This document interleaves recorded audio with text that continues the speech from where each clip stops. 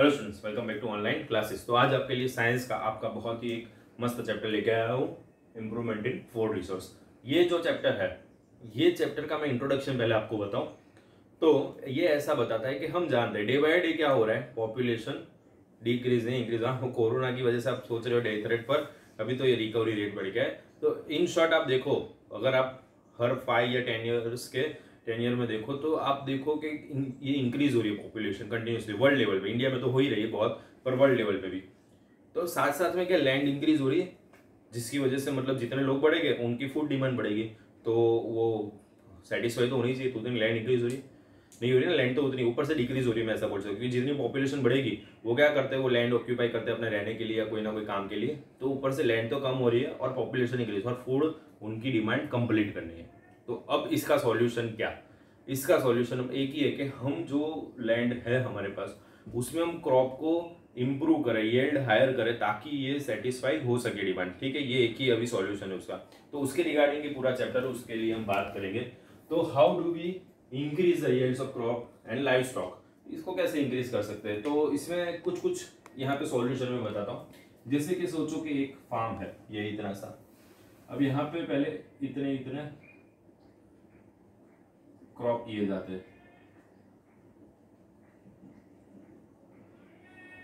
मतलब कि समझो, इतने इतने क्रॉप किए जाते थे पहले।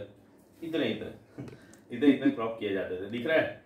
अब ये इतने इतने क्रॉप जो दिख, जो इतने हो रहे थे, अब अगर हम हायर येल्ड करते हैं कोई टेक्निक जो हम यूज़ करके जो हम पढ़ने वाले तो अब क्रॉप इतने येल्ड होने वाले।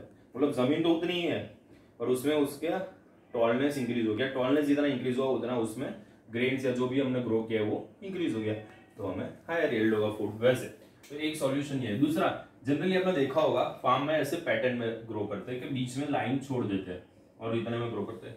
तो आप लोग को ऐसा हुआ होगा, पागल है पूरा ग्रो कर देते हैं। तो ऐसा नहीं होता, क्योंकि उसको प्रॉपर न्यूट्रिएंट मिल पाए वो प्लांट को, इसलिए उतनी स्पेस छोड़ते हैं कि उसको सनलाइट वाटर और जो मैन्यू या फर्टिलाइज़र डाले, वो सब उसको प्रॉपर मिल पाए, इसलिए जगह छोड़ते हाँ। पर इसके ऑपोजिट न्यूट्रिएंट एब्जॉर्ब करने वालों को हम बीच में रख सकते हैं, जिसको इंटरक्रॉपिंग या मिक्स क्रॉपिंग बोलते हैं। तो ये बीच वाली जगह में हम ऐसे दूसरे, उससे ऑपोजिट नेचर वाले क्रॉप्स को येल्ड कर सकते हैं। ये एक दूसरा हुआ। फिर हाइब्रिडाइजेशन हाइब्रिडाइजेशन दोनों में कर सकते हो आप। मतलब लाइव स्टॉक में भी और क्रॉप्स में भी। ठीक है? हाइब्रिडाइजेशन से क्या होता है कि बेटर क्वालिटी के जो नेक्स्ट जनरेशन मिलती है और फास्ट मिलती है। तो प्लांटों के ऐसे सीड्स आते हैं और एनिमल में ऐसे क्रॉस ब्रीडिंग किया जाता है तो जिससे वो हायर एल्ड वाले मिलते हैं। तो ये सब थोड़े सजेशन मैंने दिए। अब चैप्टर शुरू करते हैं तो इम्प्रूवमेंट इन क्रॉप यील्ड्स के मेन तीन पॉइंट है। जो हम इम्प्रूवमेंट इन क्रॉप यील्ड समझे ना कि भाई तीन ये जो है, ये ये सारी चीज़ है वो यहाँ पे देखिए, उसके मेन तीन टाइप ये है। कौन से तीन टाइप है? Crop variety improvement crop production improvement crop protection management देखो, ये सब चीज़ें हम कर ले। मेहनत कि भाई हाँ इसमें हम एक साथ वेराइटी ज़्यादा ग्रो करेंगे, अच्छी क्वालिटी वाला हायर सब। और फिर उसको प्रोटेक्ट ही ना करें। कोई एनिमल से या वेदर से तो फिर क्या होगा, सब वेस्ट तो इसीलिए ये तीनों चीज़ इंपॉर्टेंट है। वेराइटी इंप्रूवमेंट भी इंपॉर्टेंट है प्रोडक्शन इंप्रूवमेंट इसको मैनेजमेंट भी बोल सकते हैं प्रोडक्शन मैनेजमेंट और प्रोटेक्शन अब ये तीन चीज़ों में पहली जो चीज़ है क्रॉप वेराइटी इंप्रूवमेंट उसको हम समझते हैं। तो क्रॉप वेराइटी इंप्रूवमेंट जो है तो पहले तो आपको बताऊँ, जैसे वीट होता है मेज होता है राइस होता है, ये सब में से हमें कार्बोहाइड्रेट मिलता है। फिर जितने भी ऑयल सीड्स है, जैसे कि ग्राउंड नट है कैस्टर है सोयाबीन है सनफ्लावर है, ये सब में से हमें फैट मिलता है। जितने भी वो बीन्स है, जैसे कि पल्सिस जिसे बोलते हैं हम, कि जैसे कि ग्रीन ग्राम है, या जितने भी उड़द की दाल हो, जो भी है, सारे उसमें से हमें प्रोटीन्स मिलते हैं, और वेजिटेबल्स और फ्रूट में से मिनरल्स और विटामिन तो ये सब के सब इंपॉर्टेंट है तो सब ग्रो होना ज़रूरी है। ऐसा नहीं है कि वीट है तो वीट को ही ग्रो करते रहो। तो यहाँ पे मैं ये बात इसलिए कर रहा हूँ कि क्रॉप वेराइटी इंप्रूवमेंट तो फार्म में आप एक ही क्रॉप अगर लेते हो, एक ही क्रॉप ग्रो करते हो हाँ सॉइल के हिसाब से कुछ ही क्रॉप हो सकते हैं, वो बात सही है। पर क्या एक ही क्रॉप कंटिन्यूसली लेने पे क्या होता है कि उसके अंदर जो न्यूट्रिएंट है ना, वो सारे एब्जॉर्ब हो जाएँगे वो क्रॉप में और डेफिशिएंसी हो जाएगी, उसकी जो न्यूट्रिएंट की हम बाद में बात करने वाले हैं। तो उसके लिए यहाँ पे वेराइटी करते रहना ज़रूरी है। या तो इस हिसाब से करो इंटर क्रॉपिंग की पैटर्न से, या फिर आप क्रॉप रोटेट करो क्रॉप रोटेशन ठीक है? तो ये चीज़ें ज़रूरी है। तो ये वेराइटी हुआ तो ये अब यहाँ पे इसके कुछ फैक्टर्स देखते हैं कि ये इतने मेन फैक्टर्स है क्रॉप वेराइटी इंप्रूवमेंट में। तो फैक्टर्स के पहले मैं लिस्ट बता देता हूँ कि higher yield improvement quality biotic biotic resistance change in maturity duration viral desirable agronomic characteristics higher yield मतलब के जितने एकड़ या जितना भी आपके पास लैंड है, छोटा सा टुकड़ा, उसको पूरा यूज़ करो येल्ड करने के लिए क्रॉप के लिए। ठीक है? हो सके उतना उसको मैक्सिमाइज यूज़ करो उसका, उसको बोलते हैं हायर एल्ड इंप्रूव्ड क्वालिटी अब जैसे फॉर एग्जांपल फार्म है मेरे पास, नहीं है जस्ट ऐसे बता रहा हूँ। पाँच एकड़ का जैसे मेरे पास फार्म है। अब उसमें मैंने क्रॉप ग्रो किया, पर उसमें काफ़ी सारे कुछ ऐसे, जैसे फॉर एग्ज़ाम्पल मैंने वीट का ग्रो किया। तो जब मैं जब उसको हार्वेस्ट करता हूँ तो काफ़ी सारे दाने ऐसे छोटे या खराब निकलते हैं कि जिसको मैं सेल नहीं कर सकता एज अ फ़ूड तो फिर उसको मुझे क्या करना पड़ता है? फेंक देना पड़ता है सॉइल में या फिर कोई एनिमल को खिला देना पड़ता है। तो फिर यही चीज़ है कि वो इम्प्रूव क्वालिटी के होने चाहिए। आप उसके लिए अच्छे सेड यूज़ करो अच्छा इरीगेशन वो सब दो तो वो इम्प्रूव क्वालिटी का बनेगा। बायोटिक बायोटिक रेजिस्टेंस देना भी बहुत ज़रूरी बायोटिक मतलब कि लिविंग ए बायोटिक मतलब नॉन लिविंग तो जैसे बर्ड्स है, कुछ इंसेक्ट है रैट ये सबसे आपके क्रॉप को बचाना ज़रूरी है, वरना वो आपका पूरा क्रॉप क्या कर सकते हैं? खराब। तो फिर ऐसा, इसका एक ही सॉल्यूशन नहीं है कि भाई पेस्टिसाइड स्प्रे करो। उसके और भी है, काफ़ी सारे है उसके ऐसे सॉल्यूशन ला सकते हो आप, कि जिससे आप इसको बचा सकते हो। ए बायोटिक तो उससे कैसे बचाए? मतलब ए बायोटिक मतलब रेन विंड सनलाइट ज़्यादा, ये सबसे बचाने के लिए भी आपके पास उसके सॉल्यूशन होने चाहिए। अब फॉर एग्जांपल आप ऐसा कुछ कुछ लोग अब क्या करते हैं, ऐसे ग्रीन हाउस जैसा वो बनाते हैं नेट जैसा, उसके अंदर क्रॉप करते हैं, ठीक है? ऑर्गेनिक फ़ार्मिंग जिसको बोलते हैं। तो जिसकी वजह से क्या सनलाइट रेन विंड ये सबसे उसका प्रोटेक्शन मिलता है। तो वैसा एक सॉल्यूशन हो सकता है। चेंजिंग मैच्योरिटी ड्यूरेशन जितना जल्दी वो मैच्योर हो जाएगा क्रॉप उतना अच्छा है ना, क्योंकि जल्दी जितना मैच्योर होगा, आपका फार्म वापस खाली होगा, आप वापस उसमें कुछ और ग्रो कर सकते हो। तो मैच्योरिटी ड्यूरेशन जल्दी करने के लिए, जैसे मैंने यहाँ पे बताया हाइब्रिड सीड्स या ऐसी चीज़ें मैन्योर या फर्टिलाइज़र को यूज़ करके कर सकते हैं। वाइडर एडेप्टिबिलिटी आपके क्रॉप की वाइडर एडेप्टिबिलिटी जितनी होगी, वो उतना अच्छा सर्वाइव कर पाएगा। आप लोगों ने कई बार न्यूज़ में देखा होगा कि भाई जो फार्मर है वो रो रहे हैं कि ज़्यादा रेन आया तो उनका क्रॉप खराब हो गया। अब अगर आपके क्रॉप की वाइडर एडेप्टेबिलिटी होगी तो वो उसमें सर्वाइव कर जाएगा हमारे जैसा।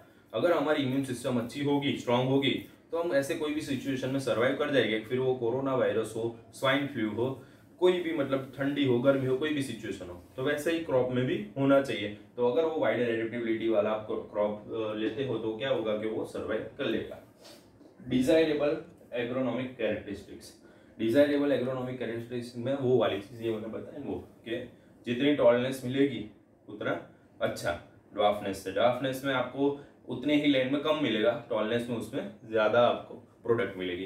तो ये जो है, एक डिजायरेबल कैरेक्टरिस्टिक और भी हो सकती है। जैसे डिजायरेबल में कैरेक्टरिस्टिक में दूसरा बताऊँ, कि ये जल्दी ग्रो हो जाए, ठीक है?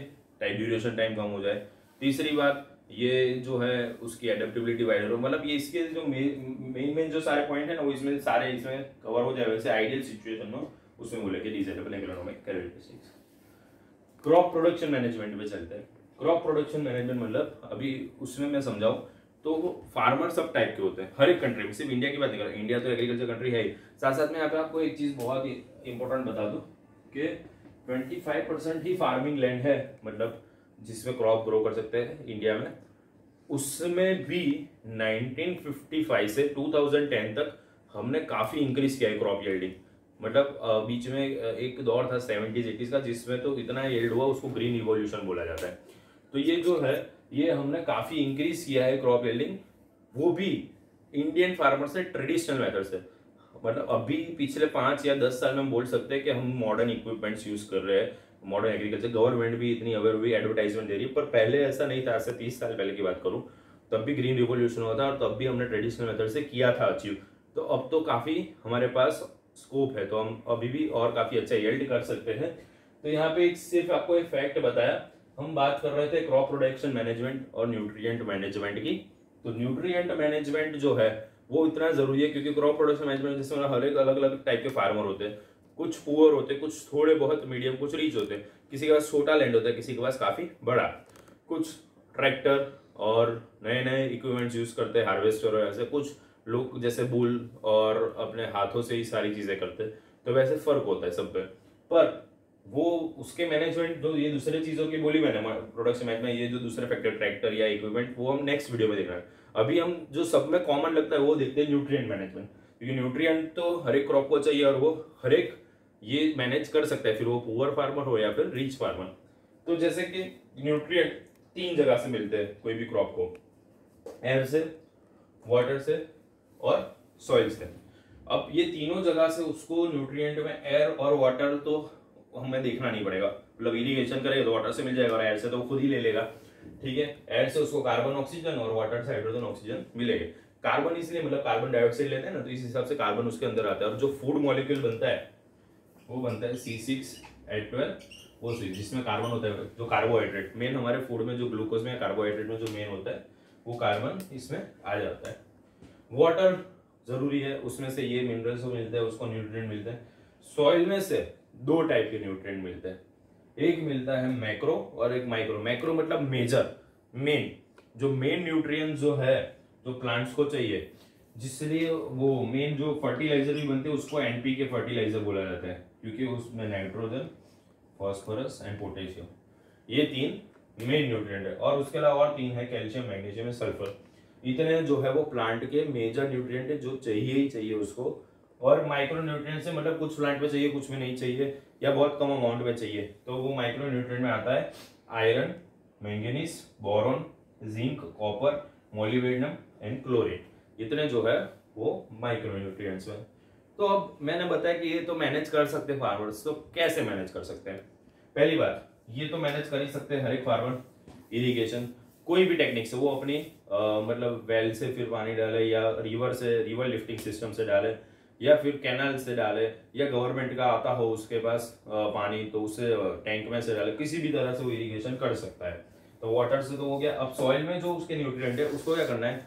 तो नेचुरली सॉइल तो होती ही है उसमें थोड़े बहुत न्यूट्रिएंट पर वो अच्छे अगर न्यूट्रिएंट डालने के लिए या तो मैन्योर या फिर फर्टिलाइज़र का यूज़ कर सकता है। और उनको पता चले कि भाई कैसा, कौन सा यूज़ करना है, इसलिए गवर्नमेंट ने काफ़ी अच्छी सिस्टम बना के रखी, एक टोल फ्री नंबर बना के रखा है। काफ़ी काफ़ी विलेज या तालुका के पास एक अपनी ऑफ़िस बना के रखी है, जो फार्मर्स को हेल्प करती है और सजेस्ट करती है और फ्री में देती भी है फर्टिलाइजर्स और वो। तो ये चीज़ें जो है, वो ज़रूरी है कि यहाँ पे वो लोग मैन्योर फर्टिलाइज़र और ये आप यहाँ पे सॉइल में डालें। फर्टिलाइज़र जो है, उसका यूज़ एक्सेस नहीं करना चाहिए। ये हम नेक्स्ट टॉपिक में देखने वाले नेक्स्ट वीडियो में मैन्योर और फर्टिलाइज़र का जब डिफरेंस देखेंगे तब। तो मैन्योर जो है, उसके उसका यूज़ ज़्यादा करना चाहिए और जो हमारे ट्रेडिशनल फार्मर होते हैं पुअर जो होते हैं स्पेशली वो उसी का यूज़ करते हैं। जो काउडंग केक से जो बनाते हैं वही उसी का यूज़ ज़्यादातर करते हैं। और रीच वाले जो होते हैं, वो भी ज़्यादातर उसी का यूज़ करते तो इसलिए न्यूट्रिएंट का मैनेजमेंट ऑलमोस्ट दोनों में सिमिलर होता है, जो मैंने यहाँ पे टॉपिक के स्टार्टिंग में बताया था। तो ये हो गया हमारा आज का पूरा टॉपिक अभी इसका और एक पार्ट आएगा, जिसमें हम इसके आगे के जो भी टॉपिक है, वो देखेंगे, क्योंकि अभी तो न्यूट्रिएंट मैनेजमेंट तक ही देखा है। फिर उसमें मैन्योर फर्टिलाइज़र का डिफरेंस और उसके बाद जो दूसरी चीज़ें मैनेजमेंट में ज़रूरी है क्रॉप प्रोडक्शन में, वो भी देखेंगे ठीक है? तब तक इसको अच्छी तरह से लिख दीजिए, याद कर लीजिए, खुश रहिए, पढ़ते रहिए। फिट एंड फाइन रहिए। Bye bye